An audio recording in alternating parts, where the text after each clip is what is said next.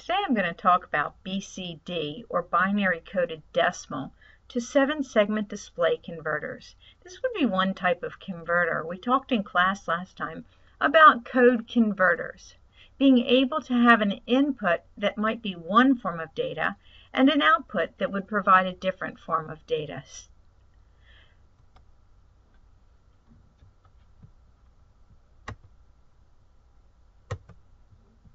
When we take a look at the Basys 2 board, we see that we have what's known as seven segment displays or SSDs. These are widely used in digital clocks, electronic meters, or other types. Some of you have said that you have a digital watch, so you're very familiar with seven segment displays. Take a look at the seven segment display show, shown on the slide we see that the zero is displayed. Now, the seven segment display is made up of seven LEDs. We can see with the zero displayed, we have six LEDs that are lit up or are on. And we can talk about the electronics of an LED. Basically, an LED or light emitting diode emits light when a current flows through it in the positive direction. It has its own symbol. It is an electronic device, and we see the symbol at the bottom. Looks very similar to an inverter, except it doesn't have the inverter bubble. We have a positive and a negative side, and on your Basys board, this is all embedded for you. You don't have to do the wiring. Here we see an image of the Basys board, and we see that there are four seven segment displays on them. Within those seven segment displays, there are some LEDs included for decimal points. Taking a look at the individual seven segment displays, we see that the LEDs are given uh, individually in each segment. And they have a common anode, a positive end, and a common cathode okay, individual cathodes, that we are actually providing the negative side when we connect. We see that there are four seven segment displays. They are labeled AN0 through AN3. And each of the segments on each seven segment display are labeled CA through CG.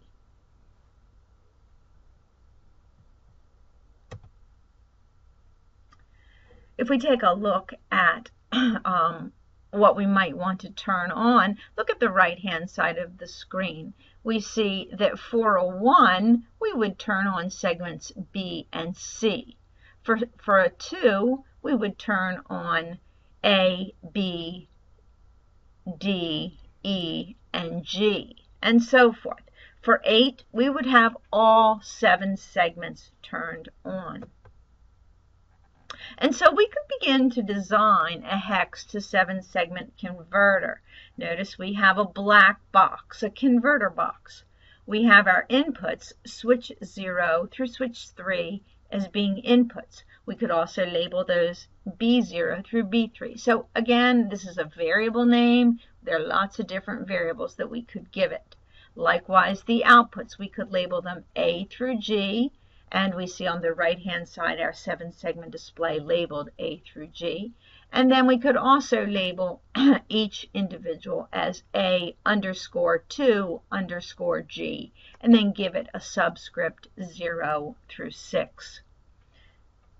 Different ways to label it, different variables. and so let's begin by making our truth table. We have to talk about which LEDs we want to have on. And so let's talk about the zero. When we want to display a zero, which LEDs are turned on?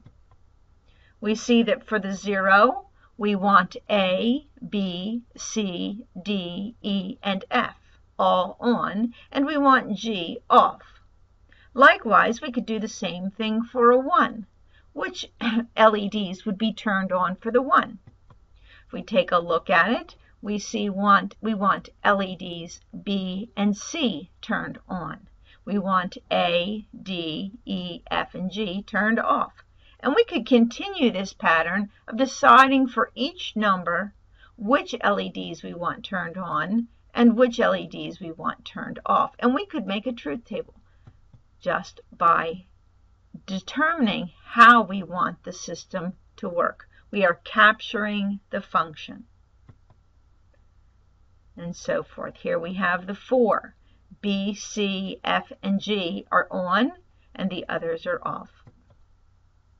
Five, six, seven, eight, nine, A, B. Notice B is a lowercase b to not be confused with the number 8. We have C, we have D, which is a lowercase d, so that it's not confused with the 0 and E and F.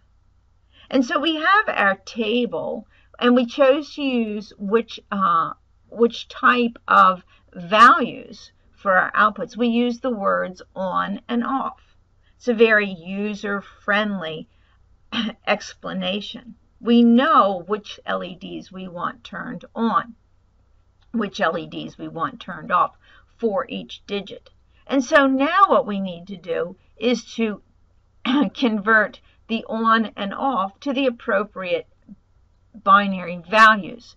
Being positive logic, we're going to allow on to be a 1 and off to be a 0. Alternatively, because we have common anodes and notice individual cathodes, what we really are doing is we're writing, we're trying to pull the values or the cathodes down to ground. So actually, we're going to say on is 0 and off is 1. This is known as negative logic.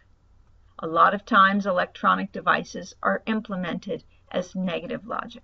So we'll go back to our truth table, and wherever we have an on, we're going to label it as 0. And whenever we have off, we're going to label it as 1. And so forth. So we have our entire table translated to the values that we want.